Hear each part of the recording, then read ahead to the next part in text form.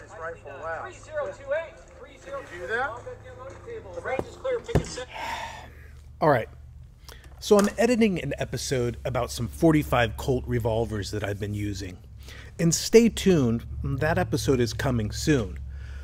But while I was editing that, I came across this short clip that I had to share with y'all because it's a good lesson about paying attention in class. Or in this case, when the stage instructions are read. Okay, be sure to pay attention. So, you know that prior to every stage, there are instructions given on how that particular stage is to be shot. I've shown that part of cowboy action shooting on several episodes, so hopefully you're familiar with it. Because when I'm filming on a specific topic, in this case it was about shooting 45 Colt revolvers in the sport, I don't always film the instructional portion of a stage. But this one is pretty simple. It's basically what I'd call a double end tap Nevada sweep on both rifle and pistol targets. And what I mean by that is you start on either end with a double tap, then sweep across, double tap the other end, sweep back, double tapping the target you started on. It's a simple 10 shot pattern on four targets. On this stage, the firearms can be shot in any order as long as the rifle isn't last. And those instructions are pretty common up here in Washington.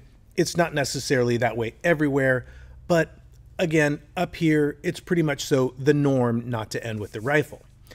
Now, I prefer a true any order on firearms, and that's typically how I write a stage.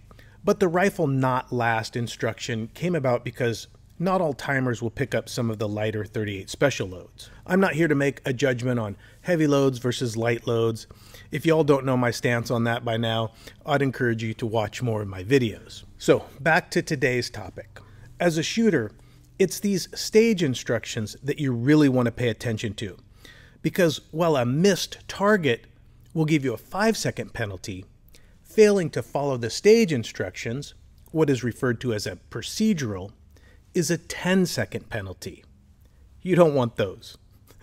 So, now that we've got the background out of the way, let's take a look at this stage and where I went wrong. Now, normally, I would have shot this stage from left to right and ended with my revolvers. But I wanted to get a shot of drawing these guns out of the holster after the beep for the 45 Colt episode I'm working on. So I decided to start with my revolvers and end with my shotgun. Stand by.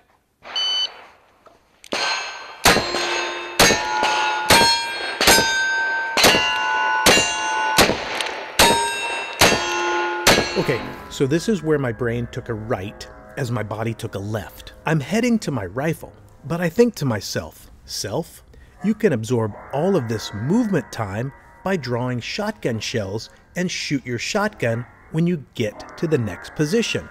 Y'all see where this is going, right?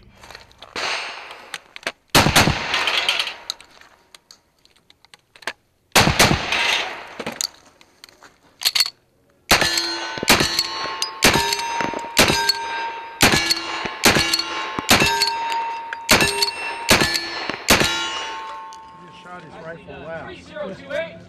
3028. 3028. do that? All guns down loading table. The range is clear. Pick a set. do it? Spotter drop one. Oh, oh, uh, no. No. So there you have it. That's an easy way to earn a 10 second penalty. And I don't care how long you've been playing this game, it can and will happen to you. But again, this is just a good example of why you should make sure to pay attention in class. And pay attention here because I've got some great stuff coming for you.